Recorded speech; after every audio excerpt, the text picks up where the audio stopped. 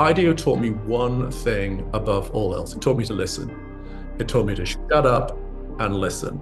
And so you went, I, I learned to go in to not have the answer, to ask the question, to listen to other people, to listen to the plethora of perspectives that were out there, to not assume that my seniority gave me anything. In fact, I would describe myself then and and now you have to be in endless student mode endlessly listening endlessly learning i'm carolyn hadlock the founder of the beautiful thinkers project on the podcast, I talk with founders, CEOs, creatives, scholars, and artists about beautiful thinking. Season 7 is focused on Scandinavia because they get so many things right from a social, economic, political, and of course, design perspective. In today's conversation with Paul Bennett, you'll hear him talk about the importance of listening, traveling, being the patient, and how these things informed his work to design human interaction.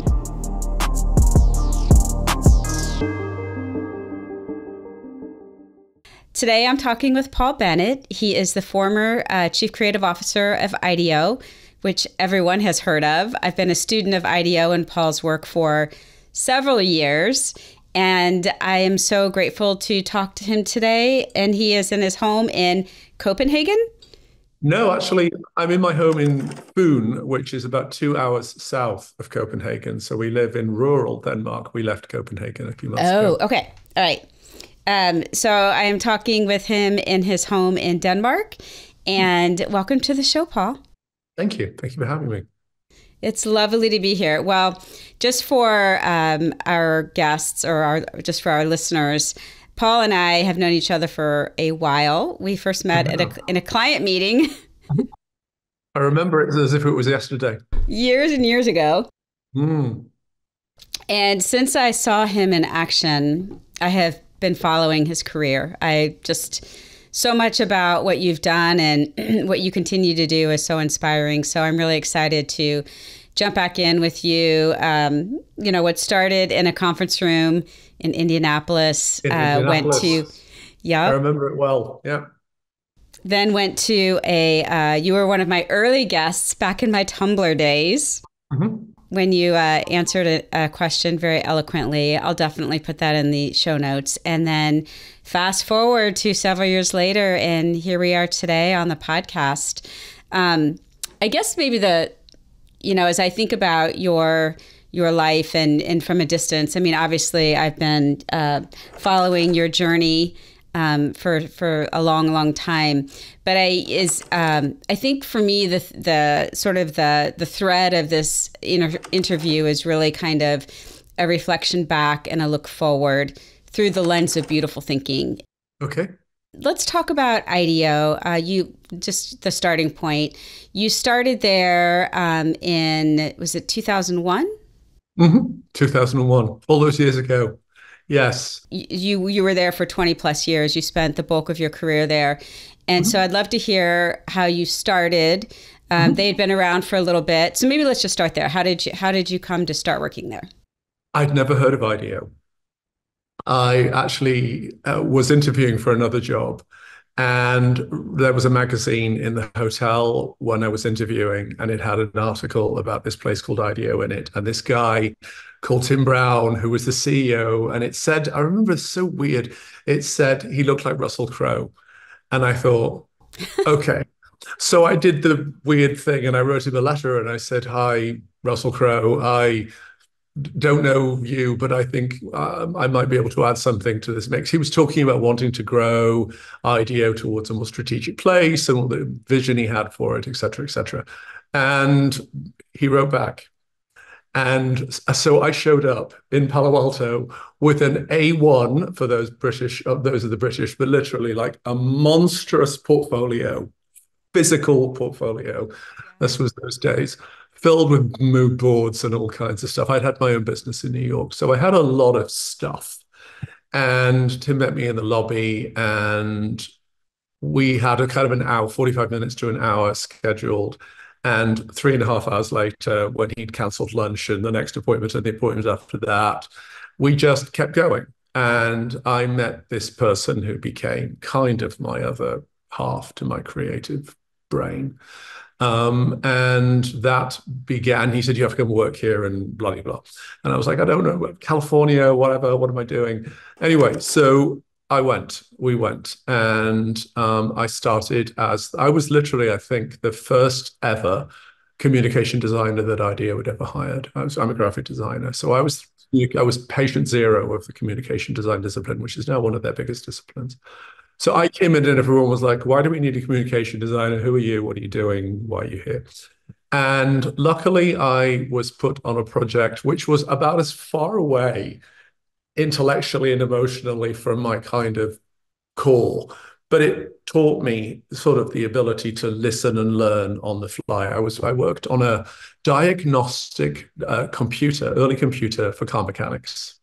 Okay. And with a, with a team and went into the process of, you know, and again, this was all relatively new to me of deeply doing insight and deeply understanding the mind of the people that, you know, did this kind of work, you know, all the way from mechanics through to sort of sh- shop owners and small car manufacturers, et cetera, et cetera.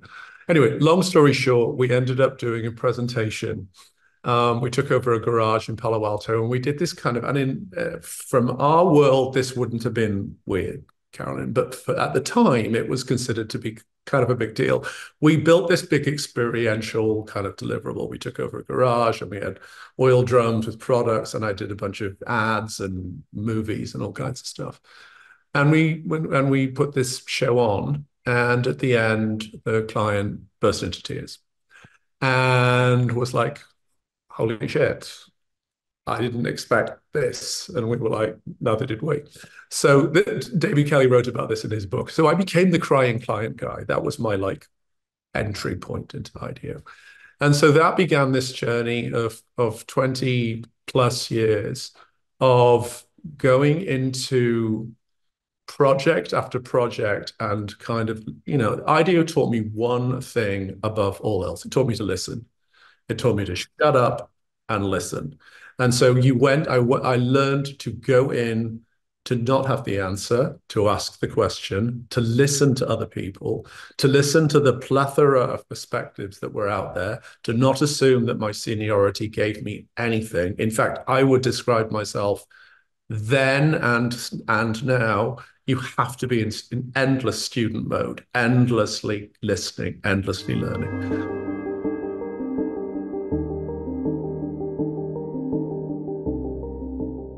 And I was given brutal feedback at the beginning because I came in with all my old school creative director, you know, kind of jazz hand crap, and was told enough already. Nobody wants to see this from you. You need to learn to listen. You need to learn to be part of a team. You need to collaborate. You don't need to be the smartest person in the room. And so over 22 years, I I watched my ego I have a, um, one of my dear colleagues, David Webster, used to describe the post-ego journey, the ego diminishing, the diminishing of one's ego, and the, the death allow- of the ego. Yeah, and and and how difficult that is for somebody who's senior and who has you know skills. In my my mind, I had all this stuff to offer, um, but I watched that dissipate and go down, and I watched my kind of curiosity rise and my ability to be kind of genuinely interested in other people's perspectives. So, you know, you, you take that over 22 years. I've applied, I've been lucky, I was lucky enough to apply that process to everything from healthcare to, you know, government and consumer goods, you know, across the across the gamut.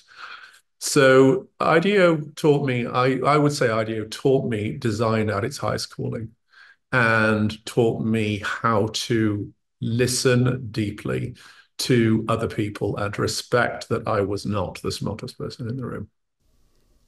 Well, that you you you just answered my question of how did IDEO shape you, which is a is a is a wonderful thing. Is it true that IDEO coined design thinking? I, I mean, I think uh, no. I mean, design thinking has been around for a while. IDEO used design thinking and applied design thinking, and I'm a fan of design thinking because it's not as simple as post-it notes and theatre. Actually, there's real depth and kind of perspective behind it when it's done well. But IDEO used it and it created a shared language for us to be able to talk to our clients about things that were design related or creatively related. So I always think of design thinking as a way to unlock a conversation. And IDEO was very, very good at creating with clients and with consumers as opposed to for. Um, and that whole process, design thinking, design doing, designing, was something that IDEO did very, I think, uh, does very well. Um, and so I was part of that, of the genesis of that at IDEO, I guess.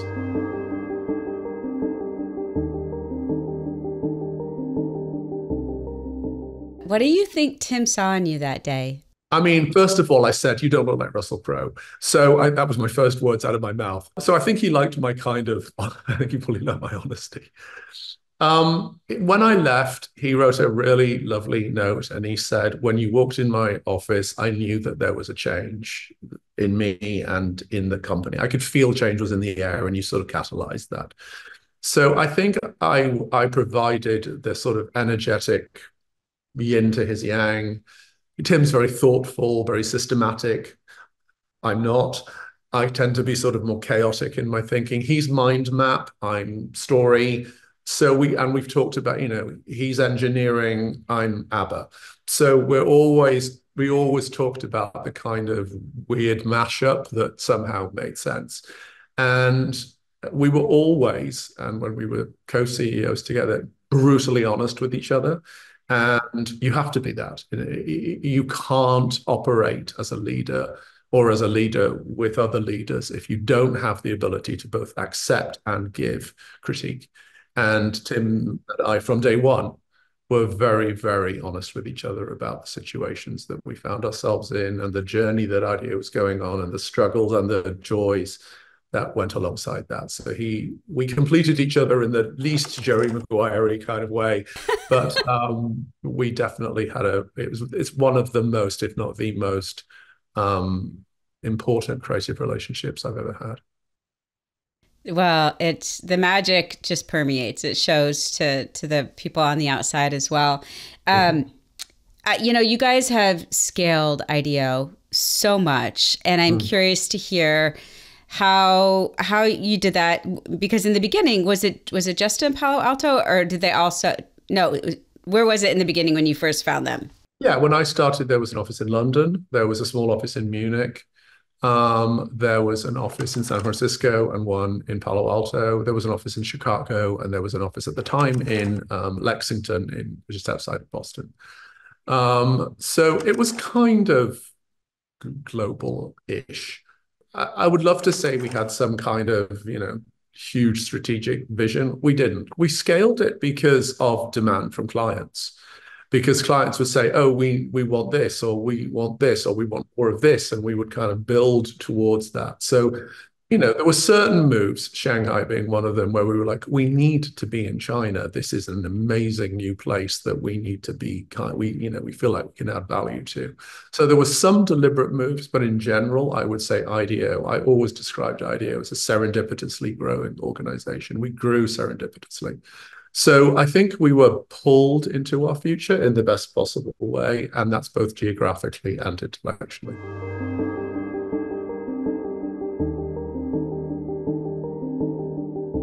But it seems like you have you preserved your intimacy comes to mind when I think about IDEO. Like, how did you do that? How did you guys do that? How did you preserve the intimacy? I mean, you work really hard. Culture's a job. Culture's a really hard thing to do. And you don't just put it on the sidelines and think it's going to grow like a petri dish. It's a thing you have to work at. I mean, as as a global person, I worked in every single office, got to know pretty much every single person, pretty much every single project. It was my job to, and Tim was the same. It was my job to understand the temperature of the organization globally. So it wasn't a impromptu thing. It was a thing that we worked, a group of us actually worked very hard at.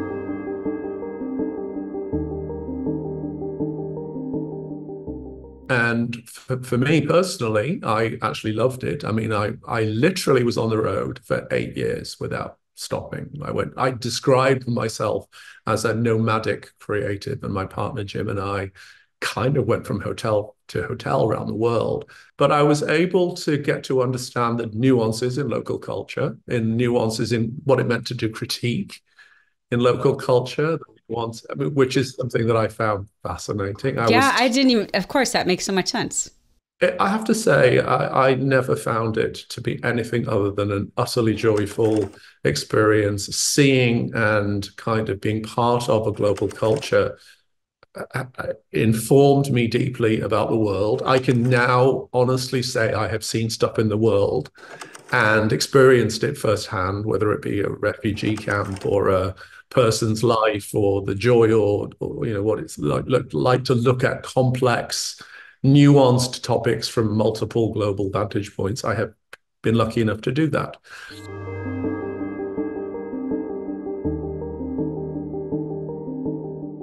That that part of the role and a, a group of us played that of spending time going from place to place was absolutely worthwhile because it cemented IDEO globally. It helped us join and fuse, and there were those of us.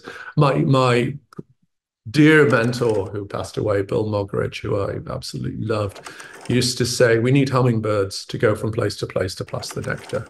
I mean, the hummingbird makes so much sense, but just of you hearing you talk about the different cultures and the different, you know, feedback and critique and having there. Uh, do you have any? I mean, was there any? Not hack or short circuiting, but how did you sort of just drop into the culture and just understand it before really kind of entering it? Listen, then speak. Period. I do not go in. I never, I, I don't do it now. I don't walk into things and be like, let me tell you about myself. I, I always ask, what are you up to? When you're next seeing the client? How can I help? Can everybody introduce themselves? Tell me what you do. Give me a sense of what you're looking from me what looking for from me. To me that's like cost of entry is you have to enter a room. And uh, again a word that a colleague of mine taught me that i have really absorbed. You have to enter a room with nuance.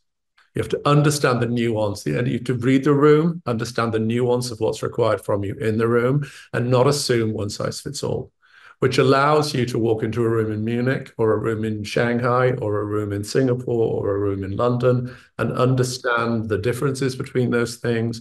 But it's never about you walking into a room and, dis- and claiming the room as yours. You have to enter the room and be part of the room which you have been invited into. So that's one hack is to just listen before you speak.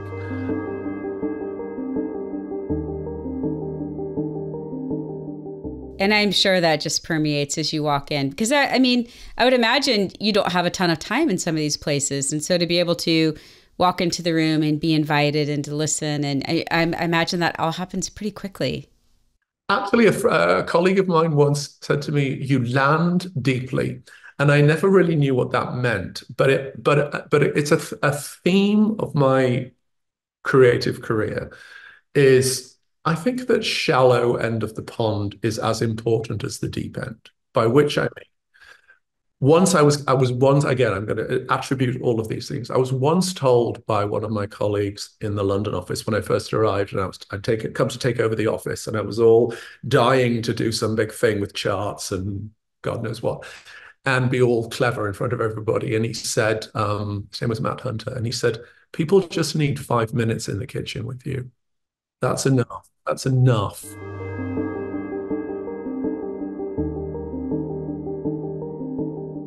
And so I've always thought you can land quite deeply with converse, a very shallow conversation. Give me a give me a Beyonce single to talk about, and I'm happy as a clam, right? So I can I can go in and talk about culture. I can go in and talk about the weekend. I can go in and talk about a project. I can go in and talk about politics. You name it. But it doesn't have to always be a big, heavy, one-sided thing. So for me, I've learned to um, enter well and play at the shallow end of the pond pretty quickly. So I could join into I often and did and continue to join into cultural flow of an of a location very fast um, to get up to speed with what's going on there. I think informality in a, particularly in a creative environment is extremely important. The other tool, honestly, and again, I never thought I'd find myself saying this, but social media has been very, very good for me. It has allowed a window into what I find interesting, and it has allowed me a window into what I see others find interesting. So I've always used social media and continue to use my social media as a sort of calling card or as a way of, I mean, there are many, many people, both at IDEO and outside of IDEO, including yourself, that I've constantly kept in orbit with through social media because I ultimately use it as a tool of sort of inspiration. So you put all that together, actually, I I think I can land quite well in a location for a short period of time and land quite deeply. Ah, I love that so much. What was it about your upbringing that sort of positioned you to sort of access people from multiple dimensions? I was actually born in the UK, but we moved to Singapore um, when I was when I was when I was a baby. My father was in the military, so I was bred to travel. My parents had wanderlust. My mother ran away from home when she was 16 to marry my dad in Pakistan, which is about as romantic a thing as it's possible to do. So she fled rural Scotland to marry my then my grandmother had a meltdown, but she married my father in Pakistan, flew to Pakistan on this side of the world on her own, which I love. So I sort of inherited wanderlust um, from a very early age and inherited a sense that everybody was interesting from a very early age. I remember one of my one of my earliest memories, which came back to me years and years later on a project. One of my earliest memories is we lived in a lived in what were called married quarters. So they were you know, military. We lived on a corner of a military base. And I remember one day this what I thought was a parade going on outside. I was like three or four years old, a parade going on outside, and all these people with cymbals and firecrackers and all kinds of stuff.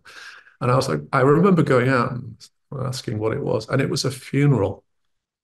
And I remember I remembered that for years when I remember moving back to the UK and, and death was a sort of Victorian era construct in the UK. It was like conceal the piano legs and shut the curtains kind of moment. And I remember growing up with things like death being celebrated.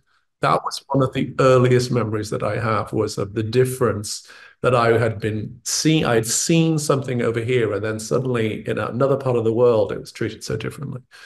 So that opened up to me an aperture into this idea that there were other formats for pretty much everything, actually, as it transpired. There were other formats for education, there were other formats for how you lived your life. There were other formats for what success meant. There were other formats for what how a family unit was constructed. I'm very, very lucky in that I was brought up by highly functional parents who only wanted the best for me who encouraged me to be creative, even though they didn't know anything about it. And I always say that's, I was sort of the Billy Elliot kid, like that weird, I lived in the same town, that weird Nelly little boy dancing around. That was kind of me.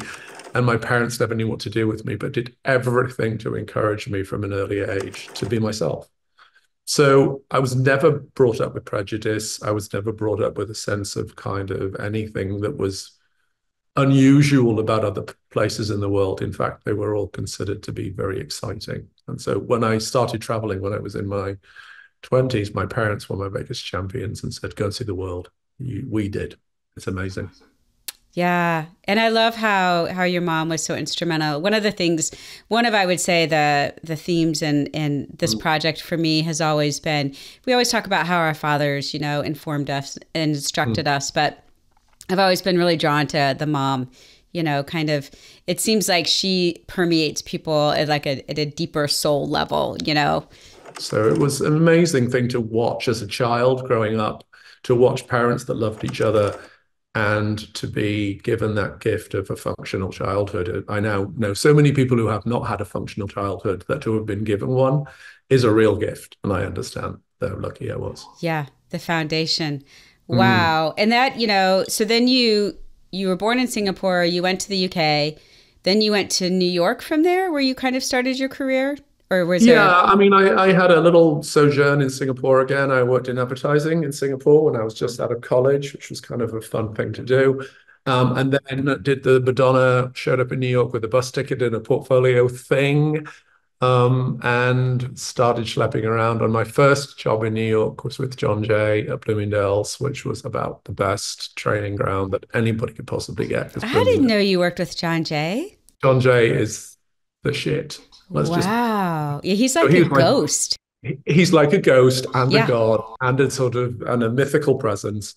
But he was one of those. He, I, I learned a lot from him. He was one of those people who was just so go further, go higher, go be better. Never one of those creative directors. I always say there are two kinds of creative directors: those ones and those ones. He was one of the.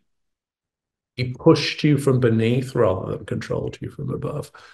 Um, it was an a, it was a wonderful experience to be to be in his tutelage because all he wanted was work to be amazing.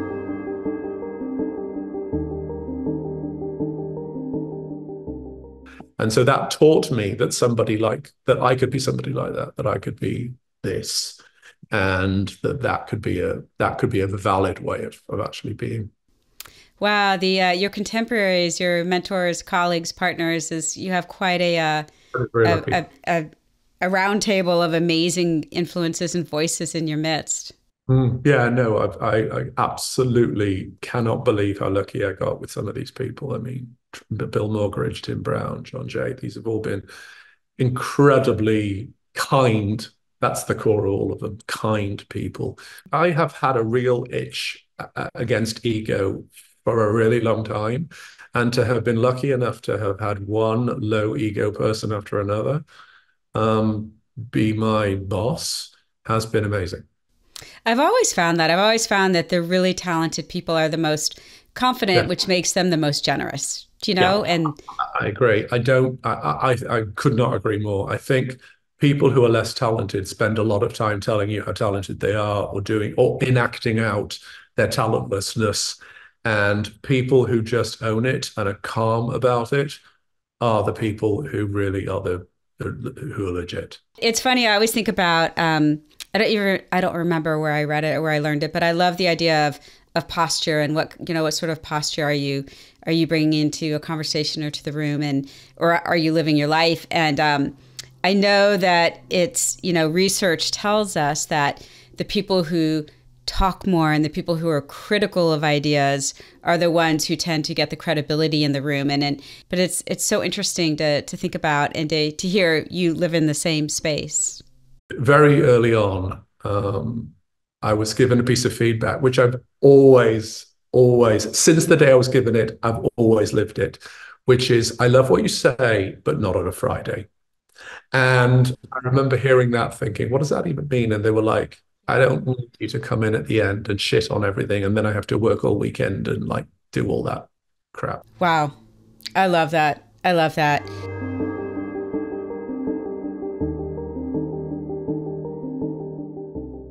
One of the the themes I think in your life and something that I talk a lot about is um is the value of travel whether you're you're traveling in your mind through books or whether you're traveling through countries on a train.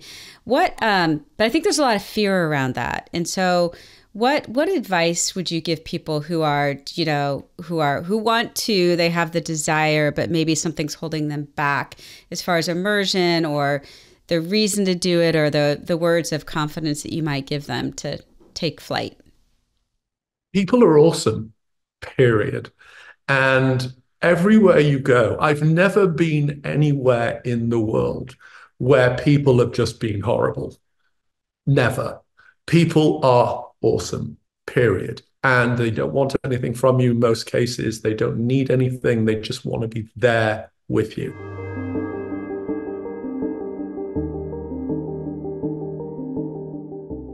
I remember, I, will tell you a story. I, I went to Bangladesh uh, in 2008. And I was very, I was quite worried because we were, I was going on a trip. It's the first time I was going on a trip where I was told in advance, you're going to see shocking things. I went, I was, I was going to a talk at Grameen with Muhammad Yunus. You're going to see shocking stuff and you're going to see poverty at, at its most raw And we were asked, how do you react to complex emotions? What's your kind of way of doing this? And I said, I'm a crier. That's how it's, that's how, I, that's me. I cry. And they were like, that's the worst type. The last thing anybody needs is your tears of pity. So put yourself at the back of the bus and calm yourself down. Right. So I was in the, I was, we, I went around Bangladesh in what became known as the crying bus. Right. What was the, the biggest revelation of that entire thing to me was that I didn't need to cry once because there was nothing but joy, nothing but optimism, nothing but beauty, nothing but equality there even I went to a struggler center, which is one of the kind of places which is the you know people were real who are in really dire straits, and all people wanted to do was have a photograph taken with me, or for me to talk to them, or to sit with them. There was no begging, no weirdness, no pulling of garments, nothing. It was just we were all together. And I remember coming back from Bangladesh going, "Oh my God, what I? What on earth were you doing? What were you thinking? You should have known better." So, you know, I've been to Congo, I've been to refugee country, I've been refugee camps all over the world. I've been to places that are, I've sat in hospitals next to people who are dying. I've been in people's homes with complex social, emotional, mental health problems. And yet, I will still say people are awesome. People want to, they want to be with you. They want to share time with you. They want to tell you their story. They want to hear your story. They want you to hold space for them. And travel gives you the experiences that are that are not just it's not just about seeing different things. It's about feeling the same thing in different places.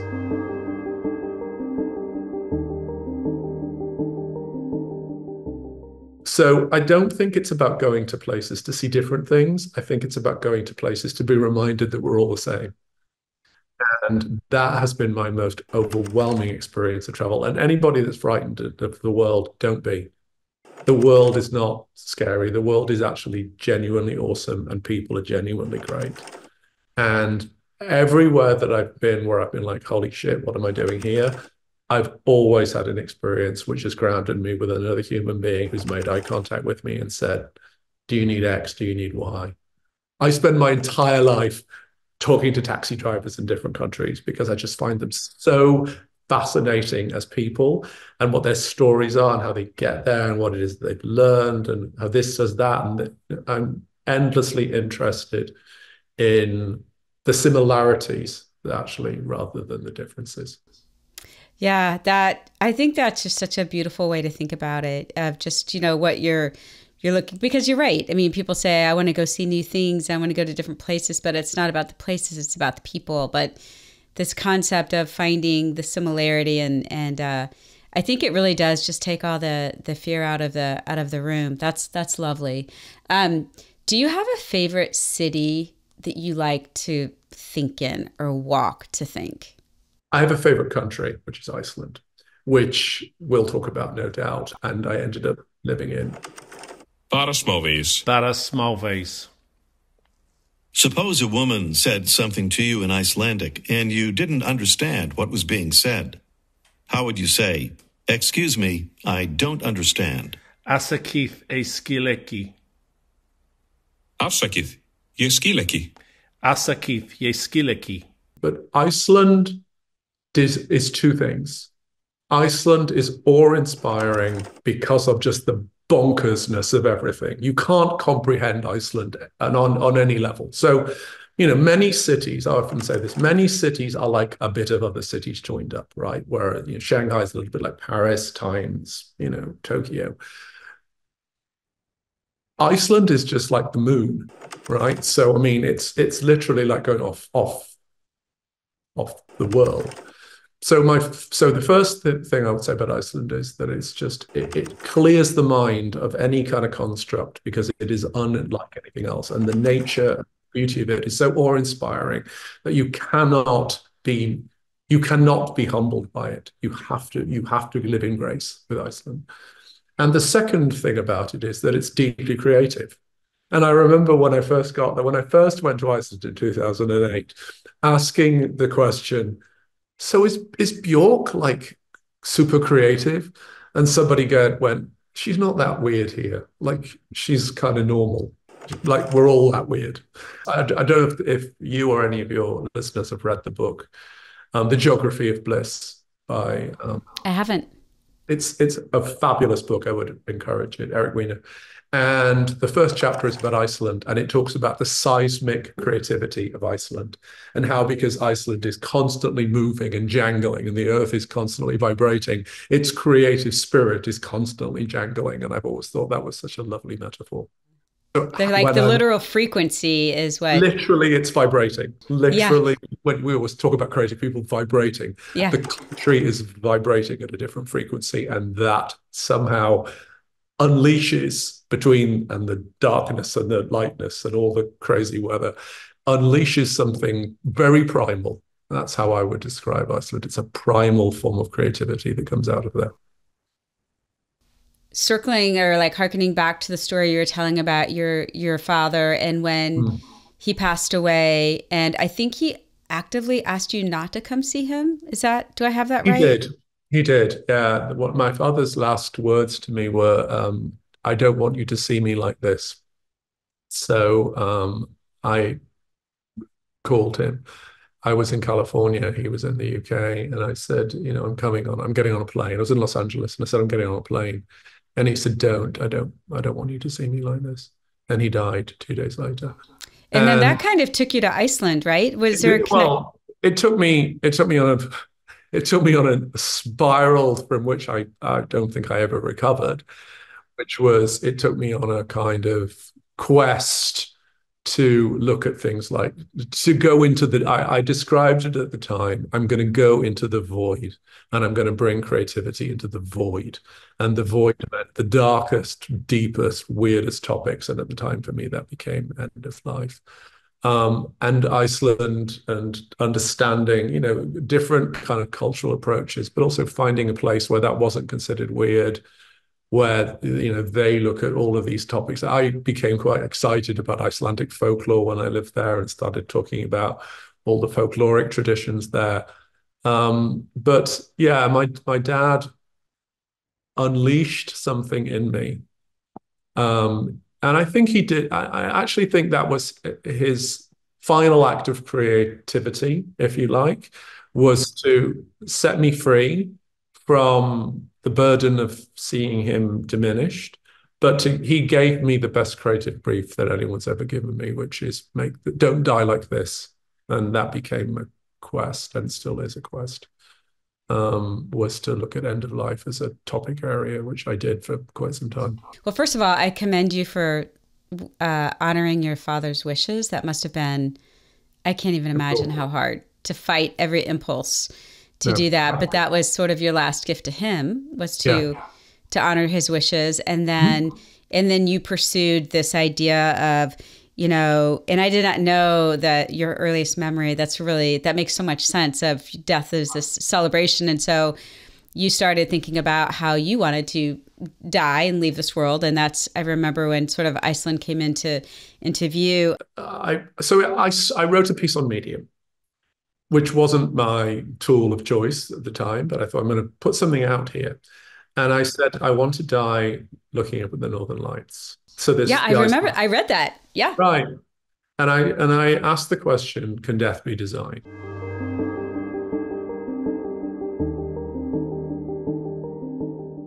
And did not expect what came next, which was a tsunami of responses from people going, please do something. My partner, my husband, my sister, my brother, I, suicide, cancer, mental health, you name it. I got deluged with people saying, I can't die like my dad.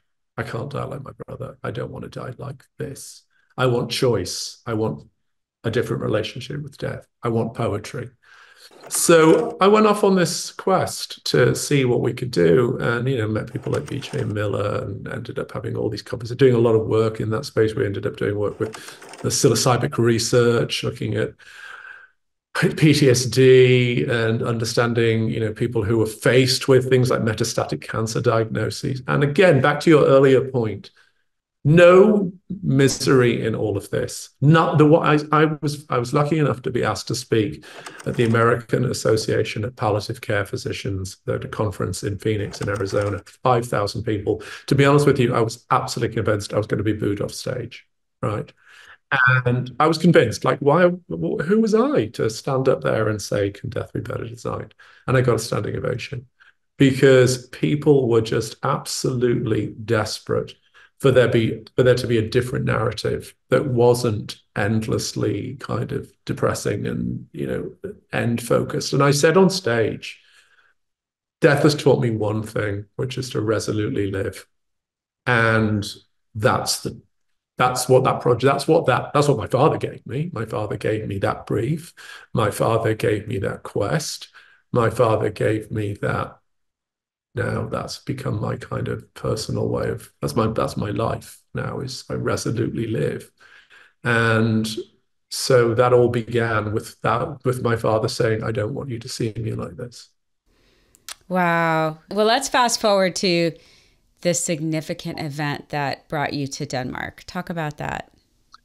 Well my worst fear my worst fear for years and I sort of made jokes about it, which now I find horrifyingly morbid, morbid, was kind of keeling over somewhere. I used to say, oh God, I can't die in O'Hare. Please don't let me die in O'Hare. Please don't let me die on the escalator in O'Hare Airport. Like that, that can't be my end, right? And August of 22, I was on a business trip and I actually thought I had COVID. I I couldn't. I woke up and I was wheezing. I was wheezy. And I went out for a walk and I came back and I was like, I'm not, I'm not feeling very well. I, I'm going to take a nap. I woke up, I don't know how long later, on the floor with my sort of arms all mangled around me. And I assume I had tried to avoid hitting, there was a big marble table next to my bed. So I had tried, to, I'd fallen on my face. And there was an elephant on my chest. And I thought, oh, fuck, here we go this is it, right? This is now, now look what you've gone and done was the first thought in my head. So I got myself to hospital. Um, and actually, I have to say, you know, love them. The National Health Service, the British National Health Service, were absolutely amazing. So they put me, you know, this triage nurse took me to, to one look at me. There was a huge long queue. She just took me to the front of the queue and she's like, come with me put me in this room, room three, room three, very critical. And so this young medic guy came in and and this became a pattern. He said, Hi, I'm Ed. Is it okay if I call you Paul? And I said, Sure. And he said, Paul, what's going on with you? And I said, I don't know. I said, I think I'm having like a stroke or something. And he said, Put some wires on me. And he said, um, stay here for a minute. Uh, how do you feel? And I said, I feel like I'm falling backwards. Mm. And I just I remember him looking at me and thinking, and being very calm. And he said, I'll be right back. And so the next thing I remember was the phrase crash cart to room three and just everything going thermonuclear and there were just people all around me but and i was sort of floating in and out of consciousness. But he seriously Carolyn here's the here's the kicker in all of this. Every single person hi my name's janet. Is it okay if i call you paul? Hi my name's mike. Is it okay if i call you paul? My name's is it okay if i and I have said, I have done a million presentations, I've done a million healthcare projects, and I have said it a million times patient as person is the most critical thing you can do. Yeah, it gives you control. Yeah. Give it doesn't even give you control. It gives you a sense of being alive. I honestly think it's more than control. I think it's a sense of I was alive because I was being addressed by my name. I wasn't dying because I was being talked about like I was an object, right? So eight people, oxygen, paddles later, tubes, the whole nine yards. And I just remember all I can remember from the entire experience is, "Hi, I'm Ed. Is it okay if I call you Paul?" And at the end of the whole thing, I'm sitting there and I'm all shaved off and weird looking and sweaty and crazy looking. And there's this Scottish, which immediately I'm thinking, oh my God, my mother's here. My mother's come to see me. Scottish um, cardiologist sitting next to me, and he says, "I'm David. Is it okay if I call you Paul?" I said, "Hi, David. Yes." And he started asking me all these questions about varying things. What got you here? And I said, um, I asked, I answered all his questions, and he said, "Do you mind if I make a, a reflection?" And I said, I said no. And he said, um, "You were very intel. You seem very intelligent." And I said, "Thank you." And he said, um, "Why? What on earth are you doing here? What are you doing here?" And I remember saying, "If I answer that question, I'll start crying, and once I start crying, I won't be able to stop." And he said, "That's the question you will have to answer when you are alone." And that led to everything changing. It led to me leaving work. It led to me leaving Iceland. It led to me coming here. It, it just pivoted. It led to me losing 100 pounds. It led to an absolute transformation of every single part of our life, um, which I'm very grateful for. And but but also it it led to back to these moments. It led to a realization of what it really is that you and I do which is we say, Hi, I'm Paul. Is it okay if I call you Carolyn? Because that's an act of, that's one of the purest acts of creativity that I have ever seen, or one of the purest pieces of, if you want to call it service design, but that's one of the purest pieces of design I've ever experienced.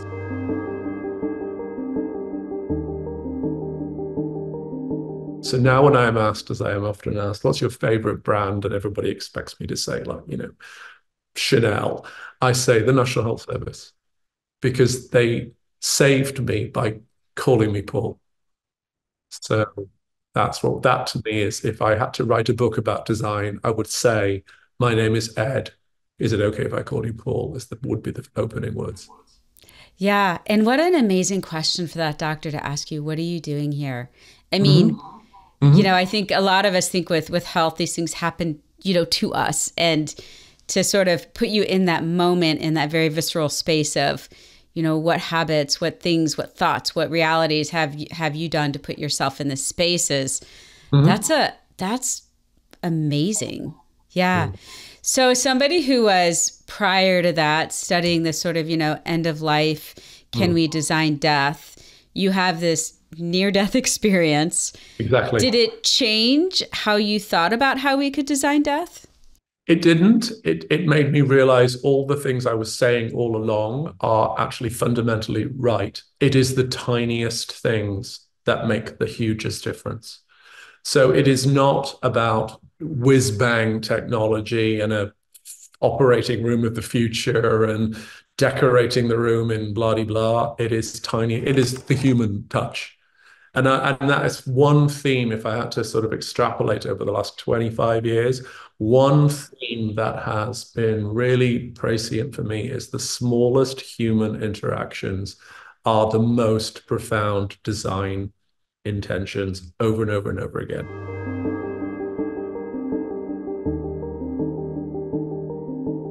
I said, to be the patient in the center of the circle you spent 25 years designing was a humbling experience to say the least. But actually, it made me realize that in many cases, the things that we had suggested over the years, patient as person, tiny gestures, you know, re- reflections, and giving people tools to connect were were actually the right answers. Wow. I mean, we talk about design thinking. That's at its best when it just presents this sort of raw truth and I say to my clients all the time, you can't replicate truth. You can't mythologize it. You can't do a mood board of it. You can just show it. So to me, that was a, that was a very early indicator that truth told, as opposed to myth sold, is a powerful way to to to go through you know, this this world that you both occupy.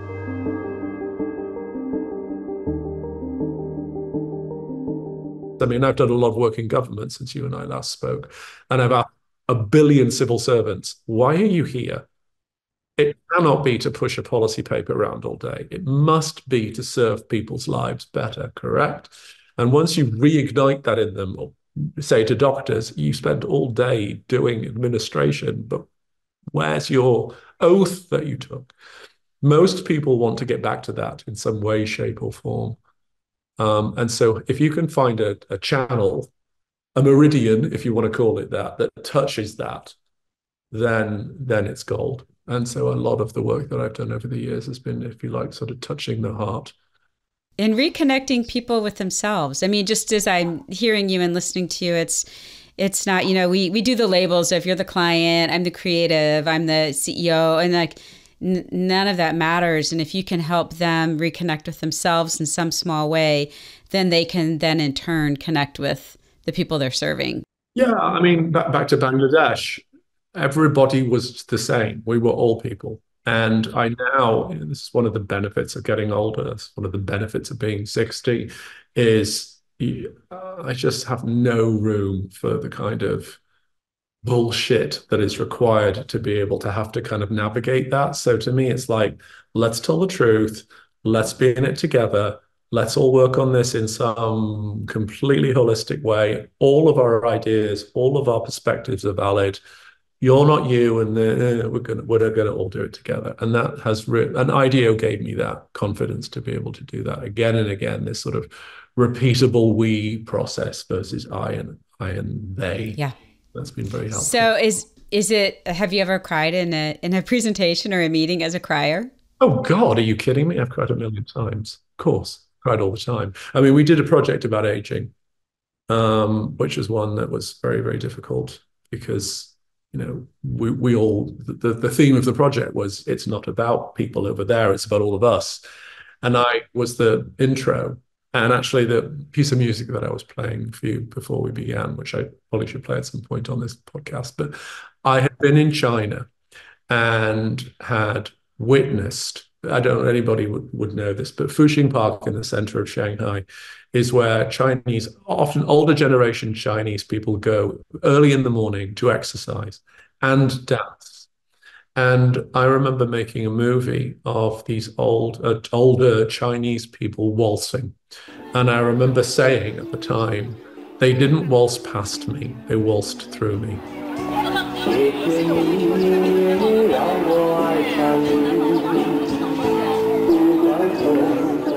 Mm, I remember, I think I saw this. I, th- I, saw your photo of it, I think, or your sure, movie. Yeah.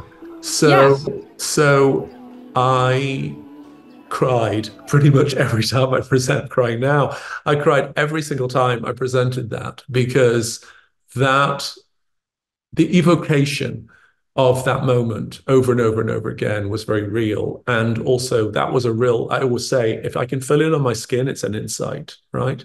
An insight is a visceral reaction to something.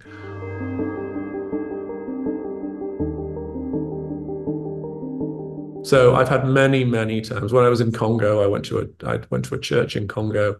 Uh, the team took me to church in Congo, and these kids came out and started singing, and the, the harmonic was just so spectacular that I burst into tears. And my colleague John and I, who's an we were both ex altar boys, were holding each other's hands, crying in this oh. church in rural Congo, going, "What on earth is going on?"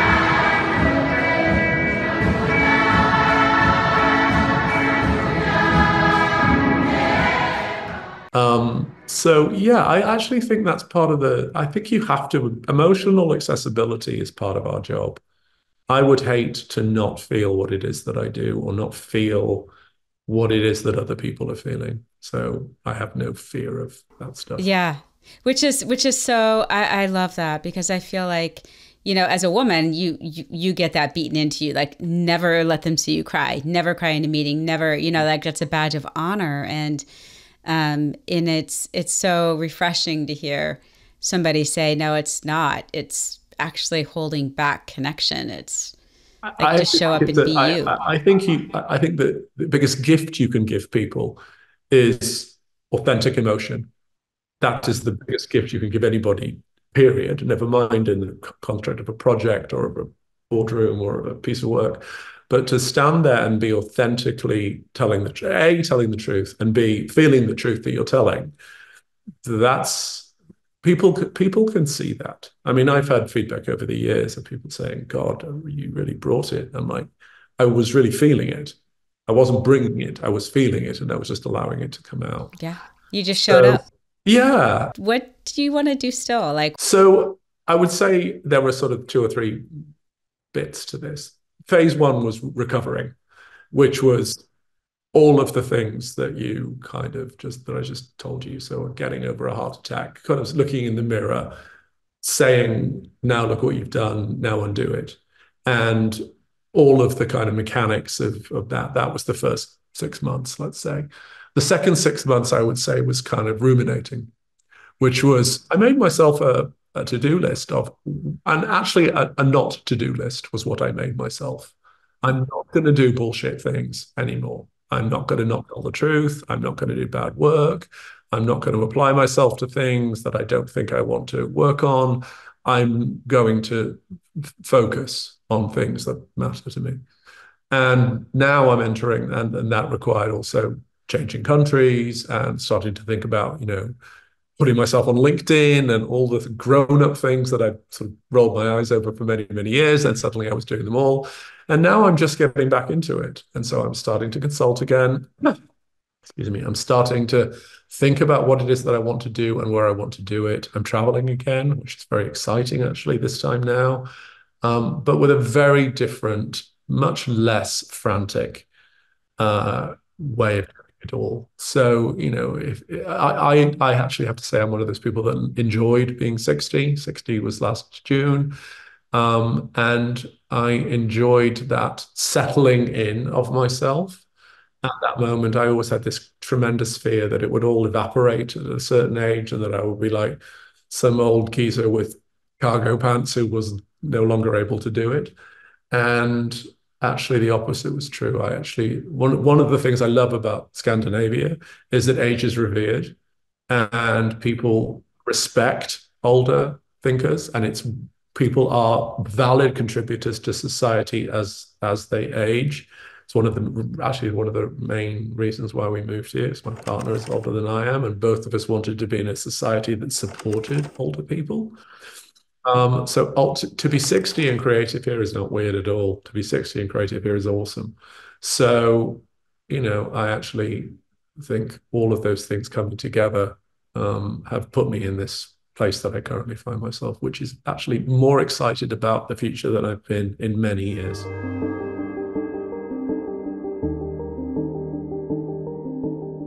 Okay, last thing, and I'm so curious to ask you this because I ask everybody, but you've lived your life this way, but how would you define beautiful thinking? Um, I would define beautiful thinking as allowing thoughts to come from other places other than your own head.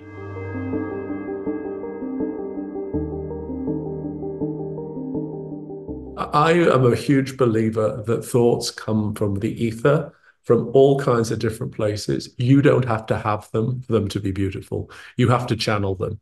So to me, that is about not having the answer. It's about being curious about the question. It's about listening. It's about being open to having disparate points of view come at you. It's not being the cleverest person. It's certainly not being the loudest person.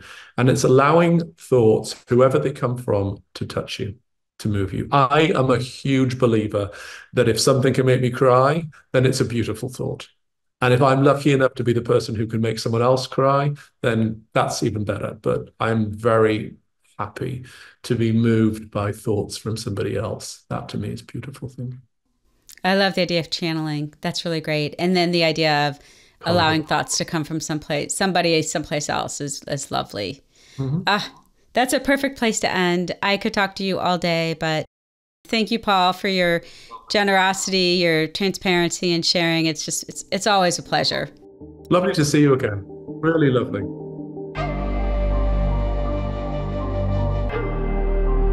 Thank you for listening to this episode of the Beautiful Thinkers Podcast. To follow along this season, subscribe to the podcast anywhere you listen to podcasts and follow us at The Beautiful Thinkers on Instagram and LinkedIn. Music by Midwest Got It.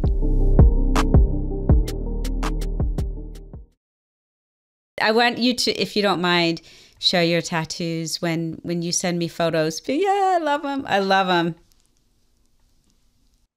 Honored, an homage to my father when I was 10 and my dad didn't know what to do. If I, I pulled this out because I knew I thought you might ask me. When I was 10 and my dad didn't know what to do with me, he showed up one day, came down our garden path with a magazine called The Golden Hands Encyclopedia of Crafts. Here it is. 98 weekly, I have them still, 98 weekly parts. One of the things I became completely obsessed with was thread art, right? So years later, I found this tattoo artist who did what he called spiritual geometry tattooing, which was essentially vector-based tattooing, Japanese guy. Oh my gosh. That took you a long time, I remember. Like you had to travel back. I did six trips to Amsterdam. It took 200 hours. It was fucking painful. But every time I showed him, I showed him this. I showed him sending him this, and he was like, "Got it, got the brief straight away." and so my dad lives on on my arms and back. In fact, my back is symmetrical, double symmetrical. I remember double helix. Uh, but that was the beginning when I was 10 years old of a journey in string and thread that ended up on my body.